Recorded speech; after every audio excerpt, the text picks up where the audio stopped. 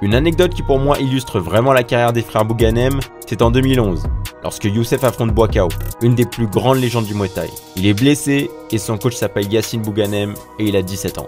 Après 11 mois de rééducation, Youssef fait son retour en 2013 et affronte les meilleurs combattants thaïlandais et étrangers. De son côté, Yacine fait également sa route et roule sur ses adversaires. Malgré les difficultés de leur parcours, les deux frères Bouganem se sont tissés parmi les légendes et seront éternellement respectés pour leur carrière impressionnante dans le sport de combat. Et pour le bonheur des amateurs, nous les reverrons sûrement encore longtemps que ce soit dans les cages de MMA français ou dans les salles de sport.